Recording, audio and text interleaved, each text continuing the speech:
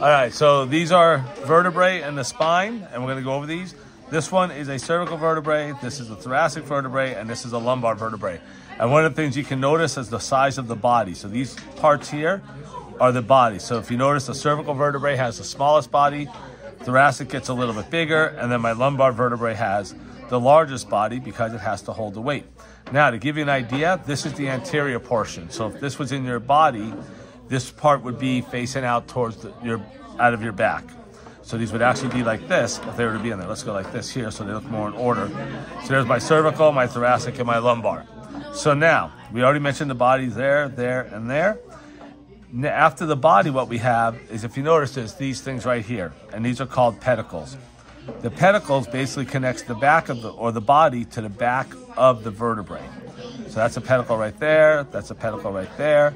Here's a pedicle, and here's a pedicle.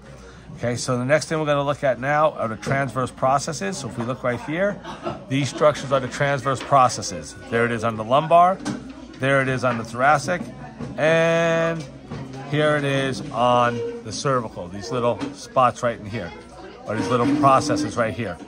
If you notice also in the cervical spine, we have transverse foramen. So there's actually holes in the transfer in the in the cervical spine, and your vertebral artery goes through here. If we look at the next structure, what we're going to look at is we're going to look at our superior articular facets. And this is the superior articular facets that are going to be right here and right here on the lumbar spine, superior articular facets on the thoracic spine, and superior articular facets on the cervical spine.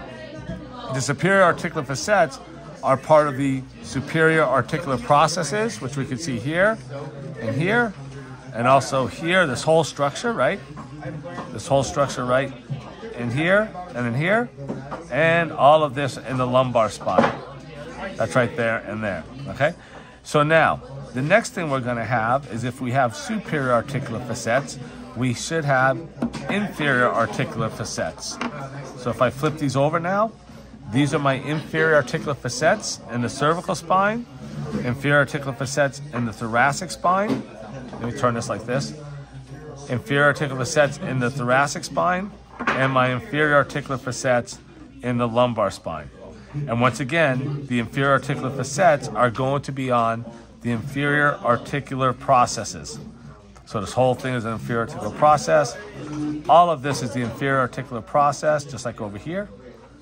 And then all of this would be my inferior articular process that you see right in there on this side and on this side. Now the next thing we're going to have after that is if we go like this again, is we are going to have the lamina. So the lamina is going to be right here. This is the lamina right here and right here. And here's the lamina on the thoracic spine. It's going to be right here and right here. And the lamina on the lumbar spine would be this area that's right in here and right in here. And then finally we have the, uh, the spinous process. So this is the spinous process here. This is the spinous process here.